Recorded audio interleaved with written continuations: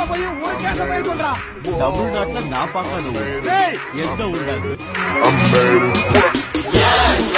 பாரு இதுதாண்டா எங்கூரு பொண்ண